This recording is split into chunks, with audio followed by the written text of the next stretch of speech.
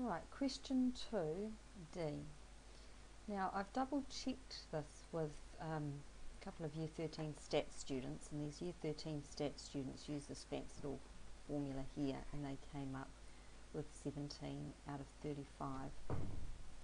This is wrong and this is right. Alright, so the question reads, estimate the probability if there are no triangles showing. So that means we're no triangles no triangles, we're through there, that there is a diamond showing. So here's the diamond showing, so that's our favourable outcome, and this plus this plus this, these three are the total possible outcomes added together. So that gives us 17 out of 35. This 25, where does it come from? Perhaps someone just made an error and forgot about this one or it could just be a typo.